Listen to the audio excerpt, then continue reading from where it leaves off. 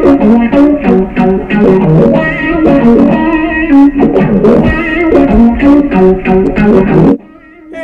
what's going on? You know, Doc Culture sure has been a lot of fun. But lately, I haven't been uh, doing movie reviews, so I think it's time I give Sticks a call and see what he's up to.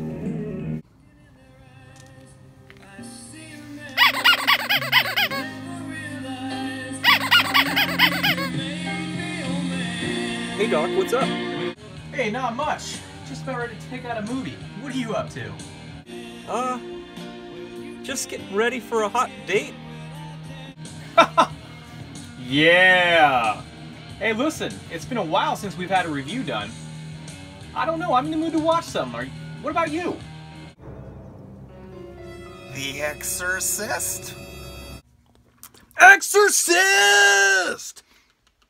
Welcome into another episode of Doc Culture. Uh, Doc, you're a little nervous about what's going I'm on tonight? super nervous. Tell 'em what we're watching. The Exorcist. I've never seen this really. I know about it. I know of certain scenes that are huge in pop culture today, Mm-hmm. but what I do know is it's from 1973 and it's two hours and two minutes long. Yeah, it's a little bit before our time, kids of the 80s, so we're going back to the 70s here. This was a scary movie in the 70s. I think it's a scary movie now. like, this was. Exorcist came out at a time. Re- I mean, there were scary movies being made.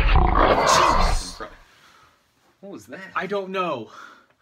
Anyway, uh, old Vincent Price flicks, you know. Um, but yeah, this like raised the This bar for scary Uh, films here. Stanley Kubrick turned down the opportunity to direct this film, I didn't know that. and also the teaser trailer was banned from some theaters because it was deemed too scary. I did know that. Yeah. Uh, So also, it was the first horror film to be nominated for uh, an Oscar. I think it was Best Picture. I could be wrong, but interesting. Um, yeah, 1973. The the biggest movie was um, Something I'd never heard of before. Oh, the, s- the Sting. The Sting, and this was number two. And and the rest of the list really You got American Graffiti, George Lucas. no, that was um, Richard Gere, the guy with the gerbil.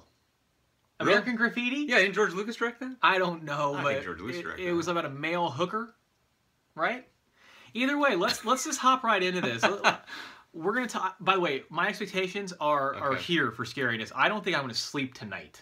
Well, I've se- I've seen this before.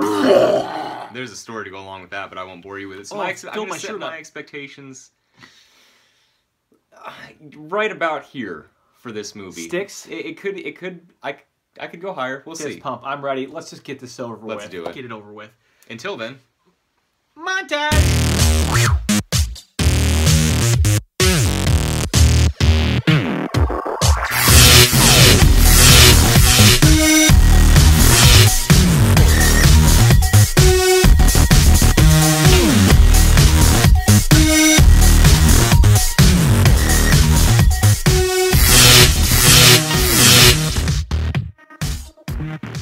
It's over. It's complete. We watched The Exorcist.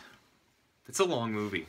A lot of build up. Yeah, two plus hours, just over two hour movie, and probably the first hour and fifteen minutes of it is just A lot of character development. character development. Uh, Father Karras, the mom and the daughter Regan. Uh, yeah, just a lot of yeah character development. For me personally, I couldn't stop thinking about the movie Scary Movie 2 by the Wayans brothers, and you know what? I loved every second of it. Yeah, I kind of want to get your opinion on this because this is your first time seeing this, but you've you've been subject to all of the pop culture referencing this movie over the years. So how Yeah. how did it feel to see where it came from? Well, what's really cool is, you know, like The Exorcism of Emily Rose and other movies like that, even like exorcist scenes in like The Conjuring. Um, kudos to The Exorcist. I mean, so many people saw that and said, you know what, if I made a movie, I'd do it this way. Maybe that's what we've seen throughout the years. But um, personally, for me, this is a one and done. Yeah, yeah. You know, you got to be in the mood, and I think this is one where, if like like tonight, where if you're with someone who hasn't seen it, it's worth sitting down and saying, "Yeah, let's watch The Exorcist." Maybe. Um, Would you? What would you? Do you need this in your library for Blu-rays? no, What? uh, I don't think no. so. I mean, Me too. if, if I found a really cool, like a really cool edition of it under like seven bucks, may, I mean, maybe I'd pick it up just to say I had it, but probably not to like pull out on the reg and watch. If I saw it for four dollars, Yeah. I'd do it. Why not? But, um, rewatchability, I guess we kind of covered Yeah, we kind of covered that. Uh, one thing I did want to talk about a little bit was this movie came out in 1973, and we touched on it uh, in, our, in the preview before the montage. In 1973, this movie was scary as shit.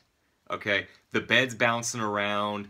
Uh, she's levitating off up off the bed. People are like, vomit coming out. yeah, like we take it for granted nowadays in 2016 that that stuff is just like five minutes in the back room with an iPhone. mind blowing. But back in 1973, like that that stuff had people running out of the theater. Yeah, Um, so yeah, that that's got to be acknowledged that this, like you said, it kind of set the stage for for hundreds of movies. mad props from 2016 on that. I mean, so uh, I mean, having said that, uh, anything else you want to talk about in this movie? you know, uh, before we get to our grades here.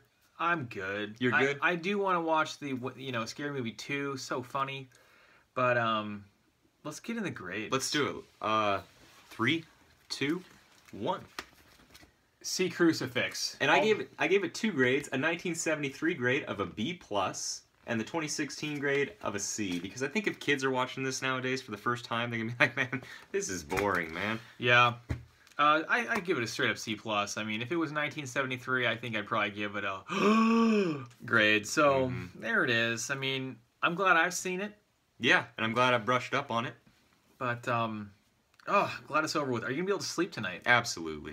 I'm gonna go home and put in Ace Ventura or something. I'll be fine. I'm gonna go eat some pea soup. There you go. Well, we did it. Until next time, uh, take care of yourselves.